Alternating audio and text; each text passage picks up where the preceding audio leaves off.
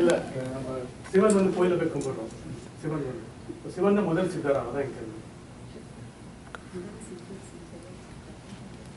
அவர் கேள்வி உங்களுக்கு தெரியுங்களா? சிவன் அப்படிங்கிற போய் நம்ம கடவுளை போய் கோயிலை கும்பிடுறோமே சிவன் தான் முதல் சித்தரா அப்படிங்கிறார்.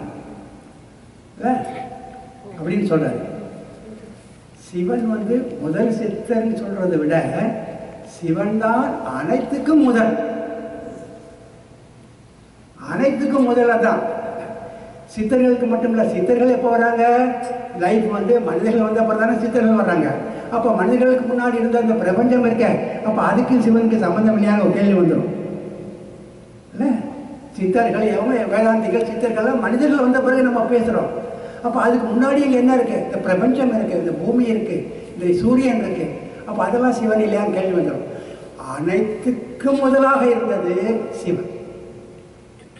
அப்படி எடுத்துக்கிட்டோம் அதான் அதை சிவனை வந்து உயர்த்திடுவாங்க இந்த சித்திரலோடு நின்றுட்டோம்னா கேள்வி இப்படி கேட்டுருவாங்க அப்புறம் அப்போ நம்ம மனிதர்கள் வந்து தான் சித்தர்கள் வந்தாங்கன்னா அப்போ அதுக்கு முன்னாடி இருந்த சூரியன் என்னாச்சு? நட்சத்திரம் என்னாச்சு? அப்புறம் பஞ்சபூதங்கள் என்னாச்சு? அதெல்லாம் சிவன் இல்லையா அப்படின்றாங்க எல்லாவற்றுக்கும் ஆதியாக இருந்த நிலை சிவம் வச்சுக்கணும் வாழ்க்கை